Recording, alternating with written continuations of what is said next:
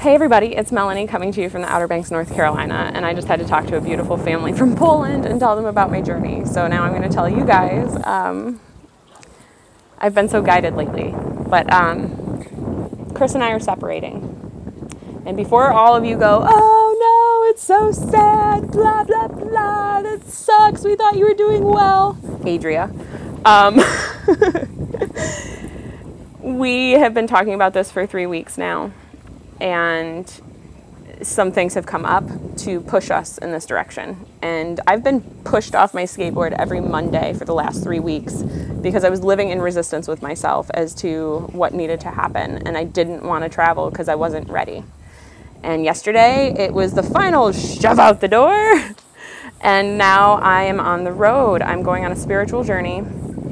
Um, thank you to Monkey Mike on Instagram in New Hampshire who enlightened my soul back um, at the full moon in June. And it just, of course, was the full moon. It always happens that way, you know. And um, I can't stop smiling because I'm really excited now. I was really scared last night, but I told myself it's okay to be scared because it's all going to work out and the universe has a plan for you. And then I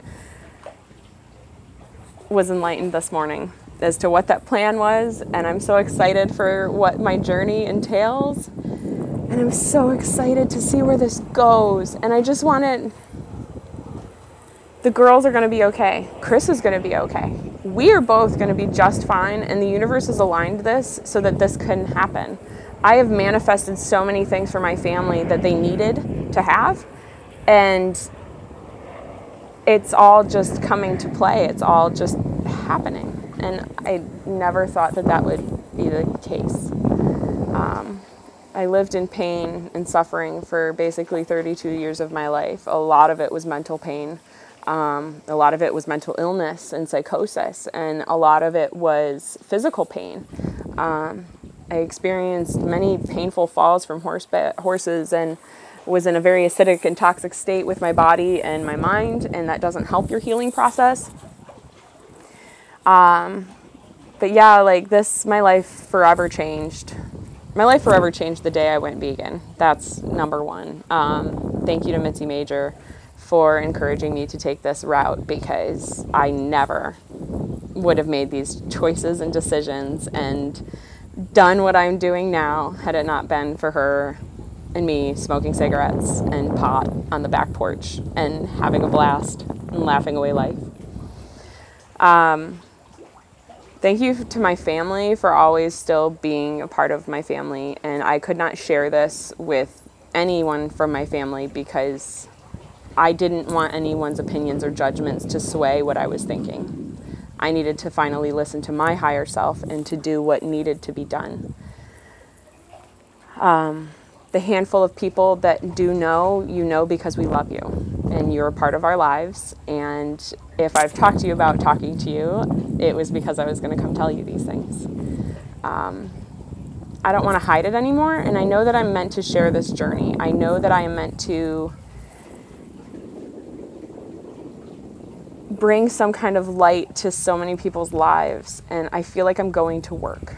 I'm going to go serve others and brighten people's lives and show as many people as I can how to eat healthier along the way. And I don't even want anything from it. I'm just going to make journals and sell them along the way as I go for 30 bucks a piece. So if you want one, let me know. Um, and uh, I'm going to see, you know, where it all takes me. I've got a rental car from Enterprise, and I don't care that I'm paying money like that to drive. I have substantial amount of debt that I am unable to pay off as I've been a stay-at-home mom for the last couple years now, almost two years. And we were really poor with our finances before, um, and we've learned not to be. Um, and we've had a gift of abundance. So I don't care the price. I'm willing to pay it and that way I have freedom. And money is just energy, and the more I let it go, the more I can take in what I need. And two weeks ago, my car died. Um, we ran out of gas in it twice because the gas gauge was broken. And um, I got this little rental car or this little rental truck from Enterprise, and it's a little Nissan Frontier, I think. And I kept saying, God, I love this little truck. Like, I could live in this truck. I could just go and drive in this truck. And I kept saying it. And it's happening. I shit you not, it's happening. So um, I'm hitting up Virginia Beach tomorrow. I'm getting my hair done. I am hitting up Durham on Saturday. I am hitting up um, Greensboro on Sunday. I am hitting up Asheville on Monday, Tennessee on Tuesday, and I am gonna fucking go and see where this journey takes me. So if you would like me to come visit you and you're not some creepy pervert sending me dick pics, fucking stop it. And I'm sending them to all of my friends. So you send me a dick pic, it's like the Oprah show. You get a dick pic. You get a dick pic. Everybody gets a dick pic. Stop it. Don't send me dick pics because I send them to everybody. I shame you. Don't worry about it. Um, and then you get blocked. But um, if you are a friend and I've known you over the past 33 years, it's going to be, I have a birthday August 26th. Um, and I turned 33, and the number synchronicities that I've been seeing now that I'm on this journey, um, mind blowing. But 33 to me is a huge year, and I'm, I'm so excited. so if you want me to come see you, if you want me to come and hang out and just have a good time. I'm no longer that angry person that I was in the past. I am no longer that angry vegan person and I've lived that life and it's not for me anymore. If you want help, I will help you, but if you have no interest in changing, I don't care, that's your choice. I would still love to see you, give you a hug, tell you I love you, that our paths crossed for a reason a long time ago and that they're supposed to cross again. And whatever I'm there to do to help you through whatever situation, that's my calling. So, I want to wish you all a lot of peace, a lot of love, and a lot of namaste. I am hitting the road with my guitar, with my skateboard, with my surfboards, and I'm gonna go and see what happens. Probably should get a surfboard bag for my blue board, but I'm gonna probably fix up my mandala on there. It's all changing. Bring a little bit of the past with me and add a lot more to the future. I can't stop smiling. All right, and my foot, it freaking kills. I'll show you guys. I took off so much skin.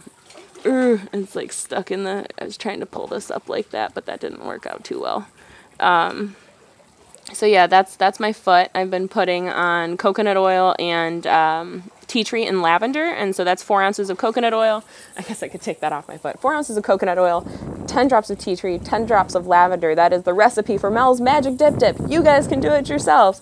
If you want to solidify it, you can add a type of like soy wax compound um, so that it doesn't melt in the car. But if you keep it in a cool location, um, you can keep it in the fridge, you can keep it on your counter.